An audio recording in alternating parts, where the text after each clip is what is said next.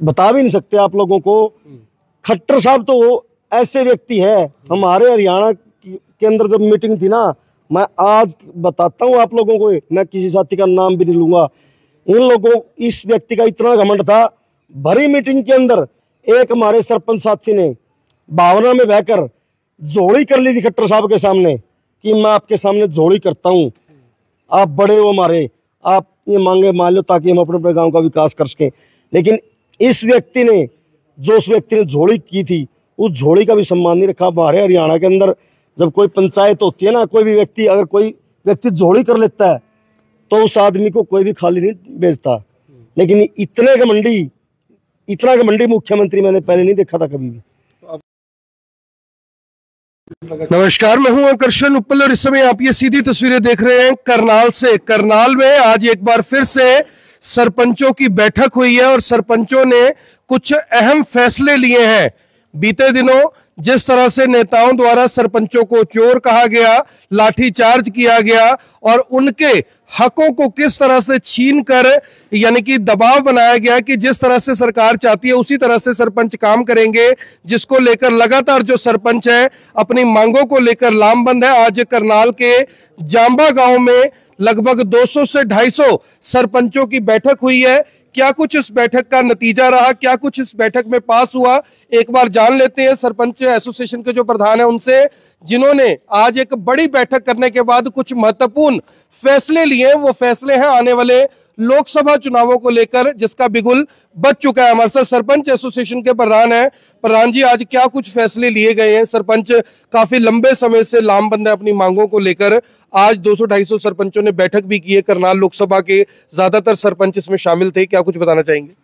हम लोगों ने सवा साल से हम लोग अपनी मांगे मनवाने के लिए जो भी लोकतंत्र के अंदर तरीके होते हैं धरने रखना धरने करना प्रदर्शन करना जो भी कार्य होते हैं हमने सब चीज़ें की लेकिन इस सरकार ने पंचायतों की मांगे नहीं मानी। लेकिन जब सभी तरीके अपना लिए तो उसके बाद हम लोगों ने एक ही फैसला लिया है कि जो सरकार पंचायतों के अधिकार खत्म कर दिए पूरे ग्रामीण क्षेत्र को बर्बाद करना चाहती है। हम इस सरकार को ही बदलने का काम करेंगे। तो हमारे सभी साथियों की सहमति से हम लोगों ने फैसला लिया है कि हम लोग आने वाले लोकसभा चुनाव के अंदर आज हम लोगों ने करनाल से शुरुआत की करनाल लोकसभा क्षेत्र से दस की दस लोकसभा सीटों पर जाएँगे और अपने साथियों के साथ मीटिंगें करेंगे और आने वाले चुनाव के अंदर अपनी पंचायतों की जिम्मेवारी लगाएँगे अपने अपने गाँव में घर घर जाएँ और अपने लोगों को जो बीजेपी सरकार की गलत नीति इनके बारे में जागृत करें और जो पंचायतों के अधिकार छीनने हैं, अपने लोगों को उनके बारे में बताएँ कि पंचायतों के ये अधिकार छीनने अब हम आपके, अपने अपने गाँव में ये कार्य नहीं करवा सकते। तो बीजेपी के खिलाफ हम लोग वोटिंग करेंगे और करवाएँगे। जो इस तरह की अभी जब आपकी मीटिंग चल रही थी इसमें एक बड़ा मुद्दा उठा कि सरपंचों को चोर कहकर संबोधित किया गया। ये पूरा क्या मामला था और इस पर जो आपत्ति जताई है आपने उस पर क्या कुछ बा, बातचीत हुई इन लोगों ने पीछे जब हमारा एजिटेशन चला हुआ था तो पब्लिक के अंदर एक गलत मैसेज देने के लिए कि पंचायतें तो खाने के लिए घूम रही है ये लोग तो तो हम लोगों को ऊपर इल्ज़ाम लगाया ताकि गाँव के लोग इन लोगों के खिलाफ हो जाए। शोर शब्द यूज़ पता नहीं क्या क्या क्या शब्द यूज़ किए थे लोगों ने? पुतले लंगेड़े तक ऐसे शब्द यूज़ किए थे जो हम लोग बता भी नहीं सकते आप लोगों को। खट्टर साहब तो वो ऐसे व्यक्ति है। हमारे हरियाणा के अंदर जब मीटिंग थी ना मैं आज बताता हूँ आप लोगों को मैं किसी साथी का नाम भी नहीं लूँगा।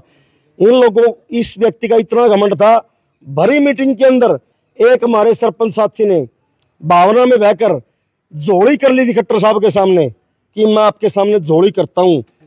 आप बड़े हो हमारे, आप ये मांगे मान लो ताकि हम अपने अपने गाँव का विकास कर सकें। लेकिन इस व्यक्ति ने, जो उस व्यक्ति ने झोड़ी की थी, उस झोड़ी का भी सम्मान नहीं रखा। हमारे हरियाणा के अंदर जब कोई पंचायत होती है ना, कोई भी व्यक्ति, अगर कोई व्यक्ति झोड़ी कर लेता है तो उस आदमी को कोई भी खाली नहीं बेचता लेकिन इतने घमंडी इतना का मंडी मुख्यमंत्री मैंने पहले नहीं देखा था कभी भी। तो अब तो वो लोकसभा का चुनाव लड़ रहे लोकसभा का चुनाव लड़ रहे तो हमारी सभी पंचायतें बिल्कुल बीजेपी के खिलाफ अपने लोगों को जागरूक करेंगे और इन लोगों को हराने का काम हरियाणा की पंचायतें करेंगी। ये काम अब विपक्षी पार्टी का वो करनाल लोकसभा से कैसा कैंडिडेट उतारते हैं? अगर विपक्षी पार्टी मज़बूत कैंडिडेट करनाल को देती है तो बाकी काम हरियाणा की पंचायतों पर छोड़ दो। हरियाणा की पंचायतें खट्टर साहब को धूल चढ़ाने का काम करेंगी। फ़िलहाल, यानी कि सीधे तौर पर दावा ये किया जा रहा है कि लोकसभा चुनाव में जो मुख्यमंत्री, पूर्व मुख्यमंत्री मनोहर लाल खट्टर है, अब क्योंकि वो लोकसभा प्रत्याशी है करनाल से, उनको हराने का जो दावा है वो किया जा रहा है। हमारे साथ एक और सरपंच है, सरपंच साहब जिस तरह से, यानी अभी एक चुनावी फेरबदल हुआ है राजनीतिक फेरबदल हुआ है, हरियाणा के मुख्यमंत्री बदले हैं, क्या आपको कुछ उम्मीद है कि नए मुख्यमंत्री कुछ संज्ञान लेंगे आपकी बातों के ऊपर? नए मुख्यमंत्री की जो जो उनका मन करेगा वो करेंगे। हमारा तो काम है भाई उन्होंने हमारे अधिकार खत्म किए हैं। हमारा काम है उनका विरोध करना। हमारा काम है बीजेपी का विरोध करना। बीजेपी का विरोध। बीजेपी के जो जो कैंडिडेट्स हमारे हमारे जो आ रहे हैं यहाँ से खट्टर साहब आ रहे हैं इन्होंने इन्होंने हरियाणा में तिहत्तरवें संशोधन में ग्यारहवीं सूची में उनतीस जो हमारे अधिकार है उनको खत्म करने का काम किया। हम्म, पूरे देश में हम्म। जितने भी अट्ठाईस प्रदेश हैं उनमें किसी ने भी संशोधन नहीं। किया। अट्ठाईस प्रदेश जो है प्रदेश देश है जो देश के। हम्म। किसी ने भी संशोधन करने का काम नहीं काम किया किसी ने नहीं किया। औरों ने तो सरपंचों की पावरें बढ़ाने का काम किया है। और इन्होंने सरपंचों की पावर खत्म करने का काम किया है। जैसे इन्हें लंबड़दारी खत्म करने का काम किया है गाँव के दो ही मोजिज व्यक्ति होते हैं गाँव में कुछ समझौते कराते हैं गाँव में सत्तर परसेंट समझौते गाँव में होते हैं वो कोर्ट तक थाने तक वो जाने देते। हम्म, और उन्हीं को खत्म करने का काम किया लंबड़दारी खत्म करने का काम किया सरपंचों को के अधिकार कम करके आने वाले समय में बिल्कुल खत्म करने का काम की सोच सोची है और उन्होंने किया है। तो आज और लाठियाँ मारने का जो भी संगठन रोड पे आया है, किसी अपनी मांग मांग मांगने के लिए, उन्होंने उनकी बात नहीं पूछ के उनको सिर्फ़ लठ मारने का काम किया। ये सरकार लठ मार सरकार थी। इनको अब जो जो इन्होंने अपने कर्म किए हैं, जो कर्म का हिसाब इनका होना है, और इनका सूद समेत सरपंच होए, चाहे कर्मचारी होए, चाहे किसान होए, वो सूद समेत इनका उतारने का काम करेगी। इनके जो जो कर्म जो इन्हें किया है, इनके कर्म इनके सामने आएँगे, इनके आगे आएँगे और ब्याज समेत इनको उतारने का काम करेंगे। ये निकम्मे थे। देखो, यदि यदि खट्टर में काबिलियत होती तो सेंट्रल गवर्नमेंट में जो जो जो ऊपर की लॉबी है, वो इसको नीचे क्यों उतारती? इसकी डिमोशन क्यों करती? इसने, इसके कर्म डिमोशन के हैं। पहले तो ऊपर से डिमोशन हुई है और अब लोकसभा से भी डिमोशन होने वाली है। यदि यदि दूसरी मज़बूत यदि कैंडिडेट आता है तो हम उसका ऐसा सहयोग देंगे पूरा योगदान देंगे। पार्टी कोई भी हो पार्टी कोई भी हो जो मज़बूत होगा जो मज़बूत होगा। उसका सहयोग देंगे। हमें इस बात से कुछ नहीं लेना देना है भाई कौन को किस को दे रहे हैं हम दे रहे हैं उसको जो मज़बूत होगा। क्या नाम है सर आपका? कौन से गाँव मेरा नाम ईसम सिंह गाँव जाम्बा प्रदेश महासचिव सरपंच एसोसिएशन हरियाणा।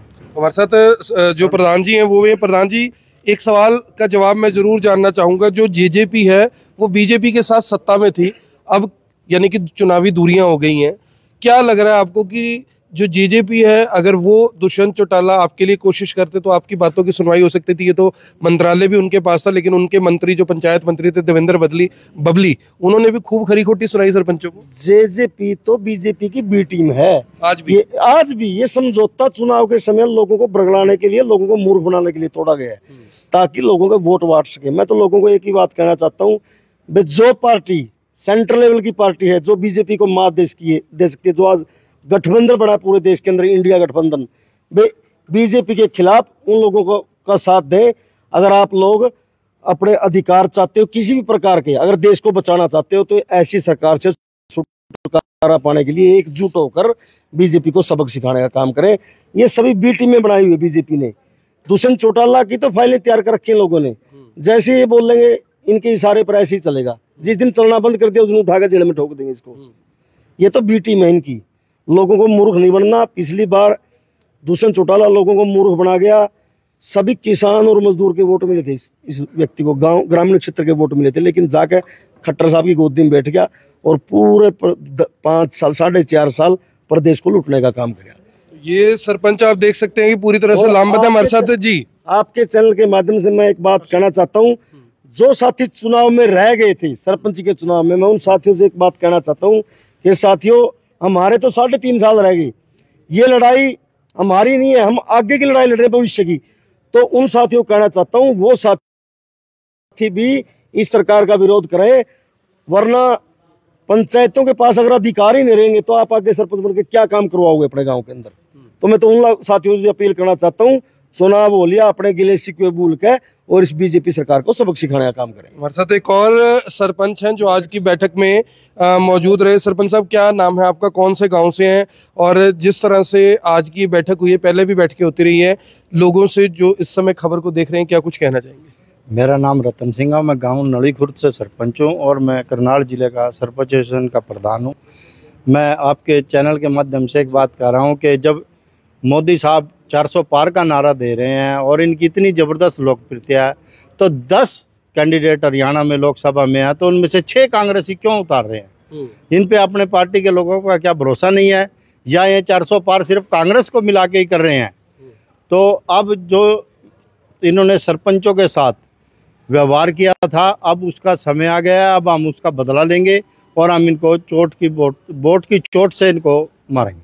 वोट की चोट से जो सरकार है, वो बदलने का बहरहाल देखना होगा कि ये दावा आगे चलकर कितना, यानी कि सफल हो पाएगा। लेकिन सरपंचों ने, हरियाणा के सरपंचों ने, बीजेपी के खिलाफ बिगुल ज़रूर फूक दिया मेरी आप सभी से अपील, जो भी लोग इस वीडियो को देख रहे हैं, इसे साथ के साथ ज़रूर शेयर करें। आज करनाल के गाँव जाम्भा में, जो कि नीलोखेड़ी से लगभग 15 किलोमीटर की दूरी पर है, वहाँ पर एक सरपंचों की बड़ी बैठक हुई और बैठक खत्म होने के बाद फ़िलहाल सरपंचों ने अपनी पूरे तरीके से जो मांग है, वो बता दी है। सीधे तौर पर कह दिया कि ये विरोध सिर्फ़ और सिर्फ़ बीजेपी के खिलाफ है। मेरी आप सभी से अपील, इस वीडियो को देखे भी, इसे शेयर भी करें। आप देख रहे हैं ट्वेंटी मैं हूँ आकर्षण उपल करनाल से। आप सभी के साथ लाइव